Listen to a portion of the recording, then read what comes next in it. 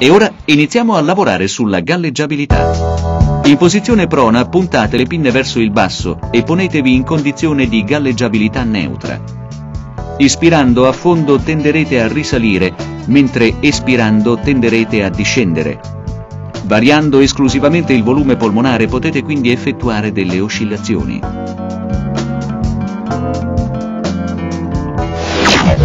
Quando riuscite a raggiungere questo obiettivo, potrete persino rimanere immobili nelle due posizioni limite dell'oscillazione, respirando meno profondamente e a polmoni quasi pieni o quasi vuoti.